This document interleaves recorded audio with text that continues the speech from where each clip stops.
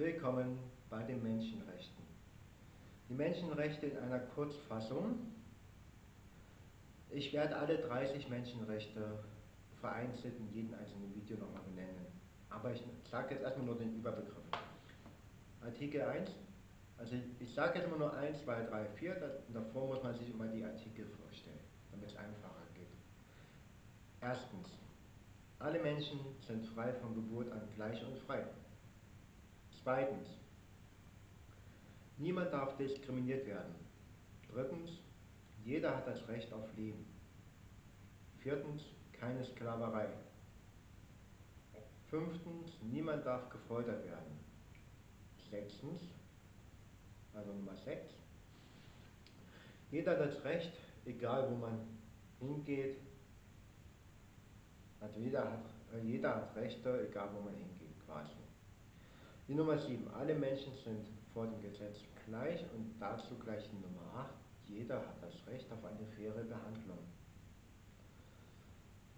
Nummer 9. Niemand darf ungerecht äh, inhaftiert werden. Nummer 10. Jeder hat das Recht auf eine öffentliche Verhandlung. Die 11. Jeder ist unschuldig, solange nicht das Gegenteil bewiesen wurde. Die 12. Jeder hat das Recht auf ein Privatleben. Und die 13, jeder hat das Recht, sich frei bewegen zu dürfen. Das betone ich gerade wegen Corona, weil das Menschenrecht wurde uns leider gestrichen vom Gesetz, was verboten ist. Aber Merkel und Co. dürfen es. Recht auf Asyl ist Artikel 14. Die 15. Jeder hat das Recht auf eine Staatsangehörigkeit die 16. Das Recht zu heiraten und eine Familie zu gründen. Die 17. Jeder hat ein Recht auf Eigentum. Dann die 18. Recht auf Gedanken-, Gewissens- und Religionsfreiheit. Die 19. Recht auf eine freie Meinungsäußerung. Die 20. Recht zur friedlichen Verhandlung darf man auch nicht mehr. Und die 21. Recht auf Demokratie und freie Wahlen. Die 22. Recht auf soziale Sicherheit. Die 23. Recht auf Arbeit und Schutz der Arbeiter.